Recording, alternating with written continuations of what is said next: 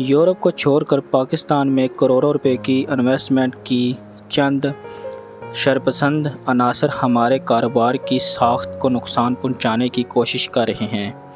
पापा पिज़्ज़ा के chief executive Wahab Rahman ने सहाफ़ियों से गुफ्तु करते हुए कहा कि, अगर किसी भी शख्स को हमारे क्वालिटी पर शक है तो बिला झिझक इंतज़ामिया को साथ लेकर हमारे पापा पिज़्ज़ा का किचन चेक कर सकते हैं। अगर हम हम कसूरवार हुए तो हमारे ख़िलाफ़ कार्रवाई की जाए। पापा पिज़्ज़ा का अपने कस्टमर्स के साथ गहरा ताल्लुक़ है।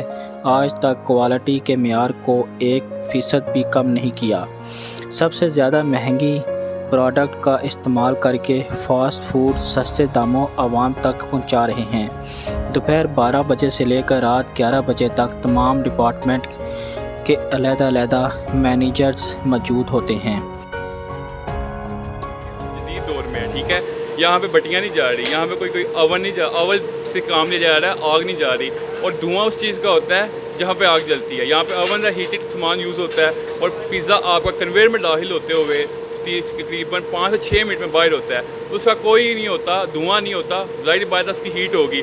उसके लिए हमने एग्जॉस्टिव माहौल सारा इन्वायरमेंट तैयार किया हुआ है। और ये सरासर झूठ है कि हम माहौलियाती लूदगी फैला रहे हैं और हमारे किचन से धुआँ निकल रहा है। अब ये कोई पढ़ा लिखा इंसान है, वो तो समझदार है, लेकिन हमारे पाकिस्तान में मेजोरिटी जो है अनपढ़ी है, ठीक है अनपढ़ है अनएजुकेटेड पर्सन हैं। तो वो समझते शायद पापास पिज़्ज़ा जो है माहौलियाती लूदगी फैला रहा है। बिल्कुल ऐसे ही है कि हमारे पास जो है ना, हमारी एक टीम तश्कील दी गई है, जो कि क्वालिटी ऑफ़ फ़ूड चेक करती है, ठीक है। अब उनका काम सिर्फ़ यही है प्रोडक्ट्स चेक करनी। अब जो हम प्रोडक्ट्स यूज़ कर रहे हैं, उनमें सिर्फ़ और सिर्फ़ ब्रांडेड प्रोडक्ट्स यूज़ हो रहे हैं, जो पाकिस्तान की टॉप लेवल के प्रोडक्ट्स हैं, जिनको आप कह सकते हैं सेमी इंटरनेशनल प्रोडक्ट्स हम उनको यूज़ कर रहे हैं, ठीक है?